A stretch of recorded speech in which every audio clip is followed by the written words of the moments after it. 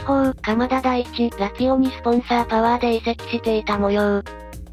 嘘だよな、大地。めちゃくちゃ生きってたのにスポンサーだよりって。ガチでダサいやつやん。引き取り手ないから水野に泣きついてて草、さすがにダサいわ。水野袴田に数億払ってペイできるんか？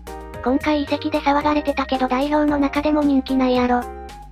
給料水野が払うんなら試合出さなくてもええやんってなるやん。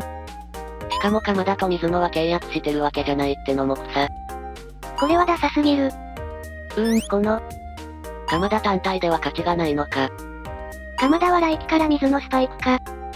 鎌田、期待してもらっていいですよ。ラティオにスポンサー移籍。これはまあダサいな。鎌田は空気読まずに水野のスパイクじゃなくてナイキのスパイクを履き続けてほしいわ。それでこそワイらが好きな鎌田や。チャンネル登録してくれるとめっちゃ嬉しいです。これからも頑張って動画制作していきますので、ぜひよろしくお願いいたします。本当、お願いいたします。